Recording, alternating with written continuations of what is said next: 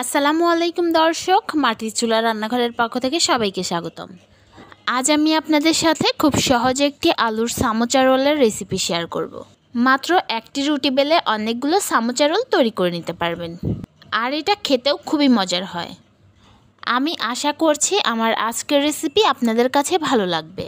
ভালো লাগলে আমার চ্যানেলে আরও নতুন নতুন রেসিপি দেখার জন্য প্লিজ আমার চ্যানেলটি সাবস্ক্রাইব করে রাখবেন। চলে যাচ্ছি মূল রেসিপিতে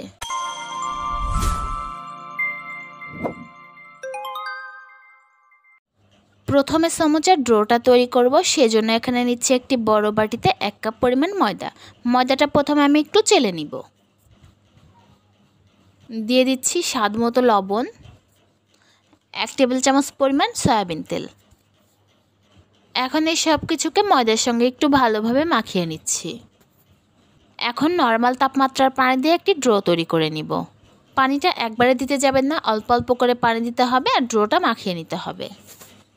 এই ড্রোটা বেশি শক্ত বা নরম করা যাবে না। রুটি পরোটা বানানোর জন্য আমরা যেরকমের ড্রো তৈরি করে থাকি, সেরকম বানাতে হবে। এখন একটা ঢাকনা দিয়ে ঢেকে পনেরো মিনিটের জন্য রেস্টে রেখে দিব। এখন আমি সমুচার ভেতরের পুরটা তৈরি করে নিব। সেজন্য আমি এখানে দুটা মিডিয়াম সাইজের আলু নিয়ে সেদ্ধ করে নিয়েছি। এখন আমি একটা কাঁটা চামচ দিয়ে আলুগুলো ম্যাশ করে নিচ্ছি। আপনার চাইলে হাত দিয়েও ম্যাশ করে নিতে পারেন। ম্যাশ করে নেওয়া হয়ে গেলে দিচ্ছি ছোট সাইজের একটা পেঁয়াজ কুচি, দুই তিনটার মতো কাঁচামরিচ কুচি, স্বাদ মতো লবণ এক চা চামচ চাট মশলা, এক টেবিল চামচ সরিষার তেল। এখন এই সব কিছুকে আমি একসঙ্গে খুব ভালোভাবে হাত দিয়ে মেখে নিচ্ছি। সমোচার ভেতরের পুরটা তৈরি হয়ে গিয়েছে, এখন আমি এটা এক পাশে রেখে দিচ্ছি। এরই মধ্যে আমার ড্রোটাও রেস্টে দেওয়া হয়ে গিয়েছে। এখন আমি এই ড্রোটা দুই ভাগে ভাগ করে নিয়েছি। আপনারা চাইলে একটু বড় করে একটা রুটি বেলে নিতে পারেন। রুটিটা আমার বেলে নেওয়া হয়ে গিয়েছে আর রুটিটা আমি যতটা সম্ভব পাতলা করে বেলে নিয়েছি। এখন এই একটা রুটি দিয়ে আমি বেশ কয়েকটা সমোচা তৈরি করে নিব। প্রথমে আমি রুটিটার মাছ বরাবর কেটে নিচ্ছি লম্বা লম্বিভাবে, তারপরে আড়াআড়িভাবে। রুটিটা আমি ষোলোটা পিস করে কেটে নিয়েছি। এখন এই একটা রুটি থেকেই আমি ষোলোটা সমোচা তৈরি করে নিব। আমি সবগুলো সমোচার টুকরোর উপর আলুর পুর দিয়ে দিয়েছি। এখন যে সাইডে আলুর পুরটা দিয়েছি, সেই সাইড থেকে হালকাভাবে মুড়িয়ে নিলেই খুব সহজেই একটি আলুর সমোচা রোল তৈরি হয়ে গেল।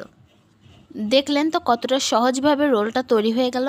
রোলটা যেন কোনোভাবেই খুলে না যায়, সেজন্য আমি এখানে একটা ময়দার মিশ্রণ লাগিয়ে দিলাম। আমি এক টেবিল চামচ ময়দাতে দুই টেবিল চামচ পানি দিয়ে গুলিয়ে নিয়েছিলাম। আমি সবগুলো রোল তৈরি করে নিয়েছি, এখন ভাজতে চলে যাব। চুলাতে একটি কড়াই বসিয়ে দিয়ে বেশ কিছুটা পরিমাণ তেল দিয়েছি। তেলটা যখন হালকা গরম হয়ে এসেছে, তখন আমি এর মধ্যে কিছুটা সমোচা রোল দিয়ে দিলাম।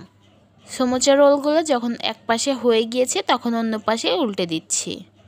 চুলা রাসটা মিডিয়ামে রেখে সমোচা রোলগুলো উল্টাপাল্টা করে ভেজে নিতে হবে, তাহলে অনেক বেশি মুচমুচে হবে। সমোচা রোলগুলো যখন খুব সুন্দর একটি কালার চলে এসেছে, তখন আমি তেল ছড়িয়ে উঠিয়ে নিচ্ছি। এই সমোচা রোলটা খুব অল্প সময়েই তৈরি করে নেওয়া যায়। সমুচা রোলগুলো দেখতে যতটা সুন্দর, গরম গরম সচের সঙ্গে পরিবেশন করলে খেতে খুবই ভালো লাগে। আমি আশা করি আমার আজকের রেসিপিটা আপনাদের কাছে ভালো লেগেছে। ভালো লাগলে চ্যানেলটি সাবস্ক্রাইব করে লাইক কমেন্ট আর শেয়ার করতে ভুলবেন না। আর আমার ভিডিও পুরোটা দেখার জন্য সবাইকে অনেক বেশি ধন্যবাদ। আজই বিদায় নিচ্ছি। আল্লাহ হাফেজ।